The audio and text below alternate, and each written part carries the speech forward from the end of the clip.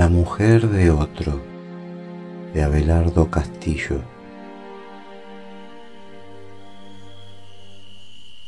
Supongo que siempre lo supe. Un día yo iba a terminar llamando a esa puerta. Ese día fue esta noche. La casa es más o menos como la imaginaba. Una casa de barrio, en floresta, con un jardín al frente, si es que se le puede llamar jardín a un pequeño rectángulo enrejado en el que apenas caben una rosa china y dos o tres canteros, cubiertos ahora de maleza.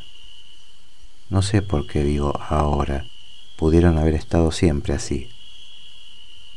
Hay un enano de jardín, esto sí que no me lo imaginaba. El marido de Carolina me contó que lo había comprado ella misma un año atrás.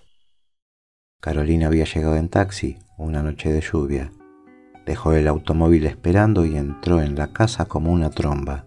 Tengo un auto en la puerta y me quedé sin plata, le dijo. Pagale, por favor, y de paso baja el paquete con el enano. Usted la conoció bastante, me dijo él, y yo no pude notar ninguna doble intención en sus palabras. Ya sabe cómo era ella. Le contesté la verdad. Era difícil no contestarle la verdad a ese hombre triste y afable. Le contesté que no estaba seguro de haberla conocido mucho. Eso es cierto, dijo él pensativo. No creo que haya habido nadie que la conociera realmente. Sonrió sin resentimiento. Yo por lo menos no la conocí nunca. Pero esto fue mucho más tarde, al irme. Ahora estábamos sentados en la cocina de la casa y no haría media hora que nos habíamos visto las caras por primera vez. Carolina me lo había nombrado solo en dos o tres ocasiones, como si esa casa, con todo lo que había dentro, incluido él, fueran su jardín secreto, un paraíso trivial o alguna otra cosa a la que yo no debía tener acceso. Esta noche yo había llegado hasta ahí como mandado por una voluntad maligna y ajena. Desde hacía meses rondaba el barrio y esta noche, sencillamente, toqué el timbre. Él salió a abrirme en pijama, con un sobre todo echado de cualquier modo sobre los hombros. Le dije mi nombre. No se sorprendió, al contrario. Hubiera podido jurar que mi visita no era lo peor que podía pasarle. Perdóneme el aspecto, dijo él. Estoy solo y no esperaba a nadie. Tenía la apariencia exacta de eso que había dicho, un hombre solo que no espera a nadie. Yo había tocado el timbre sin pensar qué venía a decirle, sin saber siquiera si venía a decirle algo. No tenía la menor excusa para estar en esa casa a las 10 de la noche. La situación era incómoda y absurda, si es que no era algo peor. Pase, pase, decidió de pronto.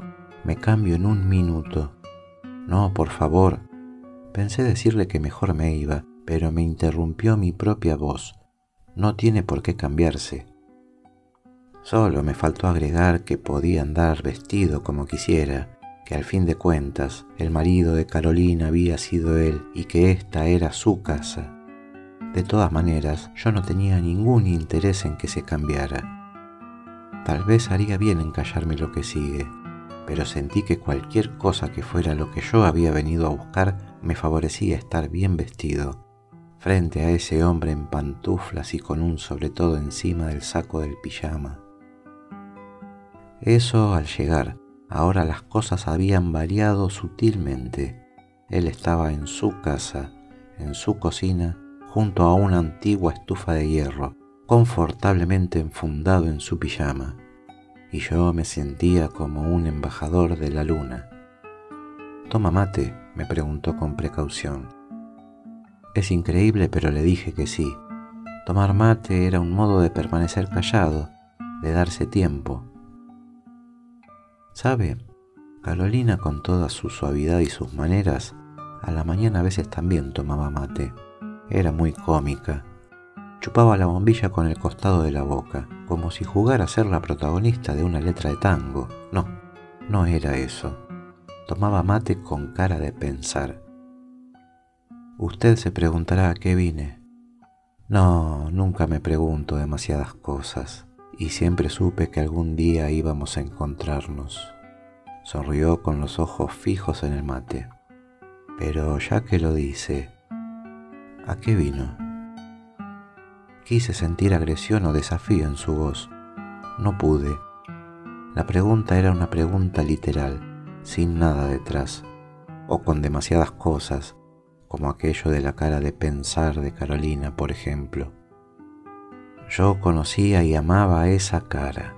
La había visto al anochecer, en alguna confitería apartada, mientras ella miraba su fantasma en el vidrio de la ventana sorbiendo una pajita. La había visto de tarde, en mi departamento, mientras ella mordía pensativamente un lápiz cuando me dibujaba uno de aquellos mapitas o planos de lugares y casas donde había vivido de chica, casas y lugares que por alguna razón parecían estar más allá de las palabras y de los que siempre sospeché que jamás existieron, o no en las historias que ella contaba. Bueno, sí, yo también había mirado muchas veces esa cara ausente y desprotegida, más desnuda que su cuerpo, pero nunca la había mirado de mañana mientras Carolina tomaba mate.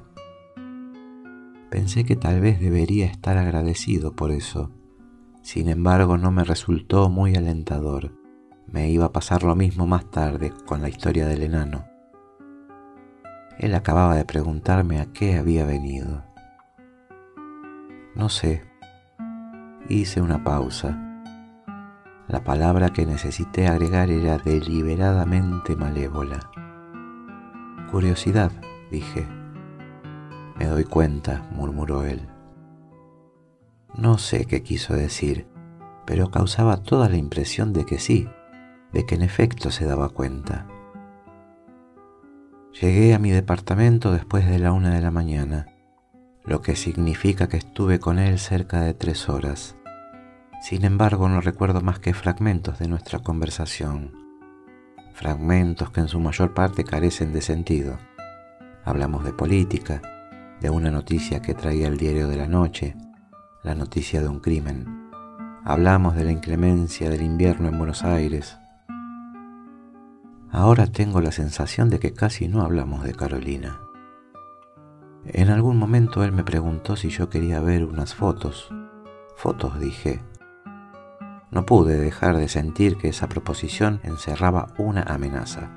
Imaginé un álbum de casamiento, fotografías de Carolina en bikini, fotografías de los dos riéndose o abrazados, sabe Dios qué otro tipo de imágenes. Fotos, repitió él, fotos de Carolina. Hice uno de esos gestos vagos que pueden significar cualquier cosa. Es un poco tarde, dije, no son tantas, dijo él poniéndose de pie. Hace mucho que no las miro. Salió de la cocina y me dejó solo. Yo aproveché la tregua para observar a mi alrededor. Intenté imaginar a Carolina junto a esa mesada, o en puntas de pie, tratando de alcanzar una cacerola, un hervidor de leche. Tal vez era algo como eso lo que yo había venido a buscar a esa casa. En una de las paredes vi dos cuadritos muy pequeños. Me levanté para mirarlos de cerca. No me dijeron nada. Eran algo así como mínimas naturalezas muertas. Ínfimas cocinas dentro de otra cocina. ¿Cómo saber si ella los había colgado? ¿Cómo saber si habían significado algo el día que los eligió? Cuando él volvió a entrar traía un pantalón puesto de apuro sobre el pantalón del pijama y un grueso pullover que me pareció tejido a mano. Traía también una caja de cartón. Se sentó un poco lejos de mí y me alcanzó la primera fotografía. Carolina sola. Detrás unos árboles que podrían ser una plaza o un parque. Descartó varias y me alcanzó otra. Carolina sola, arrodillada junto a un perro patas arriba. Miró tres o cuatro más, una de ellas con mucho detenimiento. Las puso debajo del resto en el fondo de la caja y me alcanzó otra. Carolina sola. Entonces sentí algo absurdo. Sentí que ese hombre no quería herirme. Esta es linda, dijo. Carolina, junto a un buzón, se reía. Sí, dije sin pensar, era difícil verla reírse así. Él me miró con algo parecido al agradecimiento. Nunca había vuelto a mirarlas, solo es distinto. Usted no está en ninguna de las que me mostró, le dije. Bueno, yo era el fotógrafo, dijo él. Poco más o menos es todo lo que recuerdo, o todo lo que sucedió esta noche. Le dije que tenía que irme y él me acompañó hasta la puerta de la entrada no hasta la verja. Fue en ese momento cuando me contó la historia del enano. Después yo estaba descorriendo el cerrojo y oí su voz a mi espalda. Era muy hermosa, ¿no es cierto? Salí, cerré la verja y le contesté desde la vereda. Sí, le dije, era muy hermosa. Él me pidió que volviera algún día. Le dije que sí.